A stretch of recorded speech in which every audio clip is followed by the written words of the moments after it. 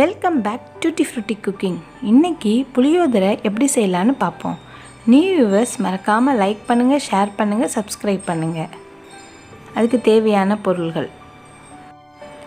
Lemon size புளியை ஒரு இரநூறு எம்எல் வாட்டருக்கு கரைச்சி வச்சுக்கணும். கால் கிலோ அரிசியை கொஞ்சமாக உப்பு போட்டு உதிரி உதிரியாக வடித்து வச்சுக்கணும். அதுக்கு மேலே ரெண்டு ஸ்பூன் நல்லெண்ணெய் ஊற்றி சாதத்தை ஆற வைக்கணும். இப்போ ட்ரை இன்க்ரீடியன்ஸாக தனியா காஞ்ச மிளகாய் கருகப்பிலை வறுத்து தனியாக ஒரு பிளேட்டில் ஆற வச்சுக்கணும்.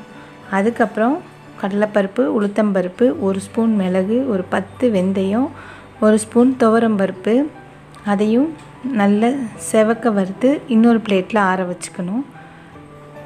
கொஞ்சமாக எண்ணெய் ஊற்றி எடுத்து வச்சுருக்க பெருங் கட்டி பெருங்காயத்தையும் அதில் பொரித்து எடுத்து ஃபஸ்ட்டு வறுத்ததோடு போட்டு வச்சுக்கணும்.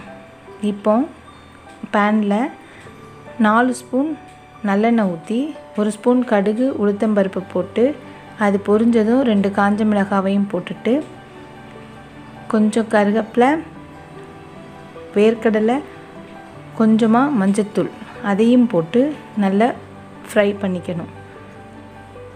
அது நல்லா வறுத்ததும் நம்ம கரைச்சி வச்சுருக்க புளி தண்ணியை அதில் ஊற்றி கொதிக்க வைக்கணும். அது கூடவே தேவையான அளவு உப்பையும் சேர்த்து நல்லா மிக்ஸ் பண்ணி கொதி வர அளவுக்கு கொதிக்க வைக்கணும்.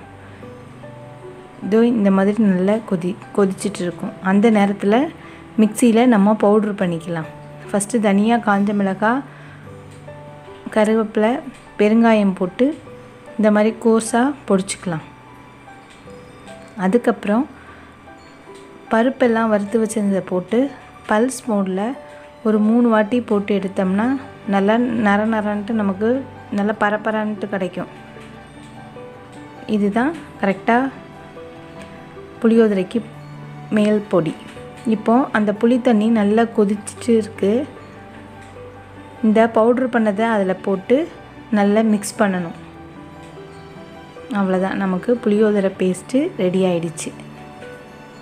இது ரொம்ப டேஸ்ட்டாக இருக்கும். பெருமாளுக்கு புளியோதரை ரொம்ப பிடிக்கும். பசங்க எல்லாத்துக்குமே புளியோதரை ரொம்ப பிடிக்கும்.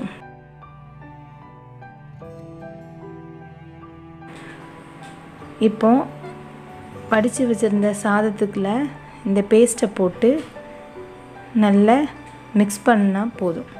நம்மளோட புளியோதரை சூப்பராக ரெடி ஆயிடுச்சு.